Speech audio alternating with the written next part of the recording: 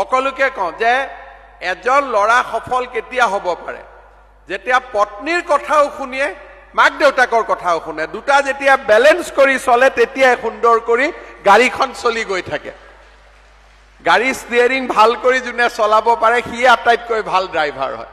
মাক দেউতাকেও ক'ব লাগে ল'ৰাই মোক ইমান মৰম কৰে। আৰু ঘৈণীয়েকেও ক'ব লাগে মোক স্বামীয়ে ইমান মৰম কৰে। তেতিয়াহে ধুনীয়াকৈ চলি যায়। সেইকাৰণে মই চবতে কওঁ এইকেইদিন মই লাগি আছো সুৎখোৰবিলাকৰ এগেইনষ্টত য'তে ত'তে পইচা লয় এ টি এম কাৰ্ডখনো বন্ধকত থৈ দিয়ে। দৰমহা পালে প্ৰথম এ টি এমৰ পৰা সিহঁতিহে উলিয়াই মানুহক দৰমহাটো দিয়ে আৰু সুদৰ টকাটো কাটি লৈ লয়। মহিলাসকলৰ সোণ গহনা চব বন্ধকত থৈ দিয়ে। আৰে এইবিলাক কেনেকে চলিব? মই কলো অসমত মই মুখ্যমন্ত্ৰী থকালৈকে মহিলাৰ ওপৰত অত্যাচাৰ নহব বাকী যি হব হৈ থাকিব। আজি এক দহ পোন্ধৰ দিন হ'ল এশ চৌৰাল্লিশ জন মান সুদখোৰ এৰেষ্ট হৈছে কিন্তু আৰু লম্বা চলিব। এইটো এইটোকো নোহোৱা কৰিব লাগিব।